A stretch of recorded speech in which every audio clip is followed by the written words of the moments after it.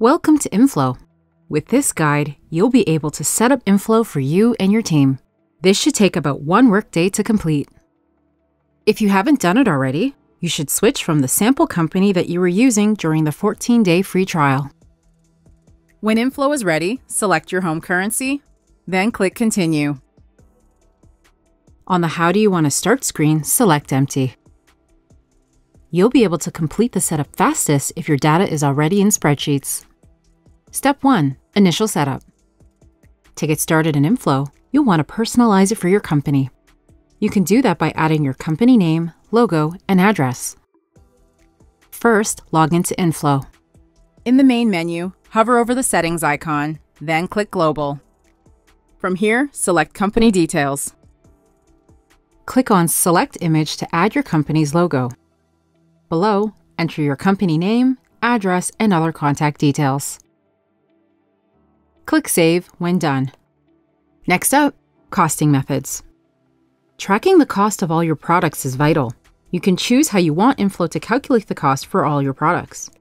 Inflow can track costs with the following four methods moving average, first in, first out, last in, first out, and manual. If you're unsure which one to use, we suggest the moving average costing method. You should choose the costing method before you add products to Inflow to avoid future inaccuracies.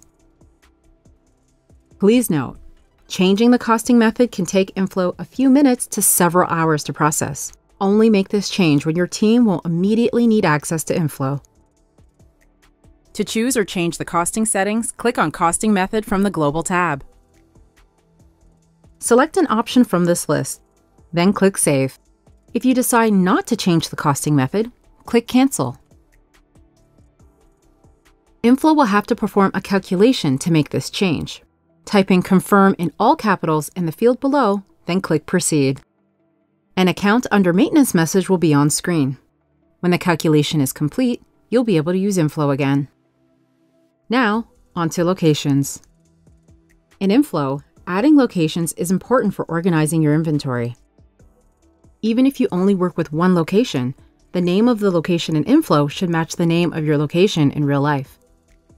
So to set up locations, click on Settings, then Inventory. Click on Locations. Click on the arrow next to Default Location to rename this to the name of your main location.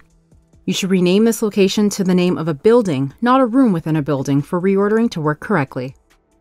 With higher tier inflow plans, you can use sublocations to track the room or aisles your products are in. If you want to add an address to the location, click on Add Address. If you have another location, click on the blue arrow at the top left-hand corner to return to the main location screen. Next, click on Add Location to enter another main location to Inflow. Return to the main location screen by clicking on the blue arrow at the top left-hand corner of the screen. Click the star to the right of your locations to set the default location. Setting the default location tells Inflow where the majority of your products are located to help you stay organized. Click Save when done. Up next, adding inventory.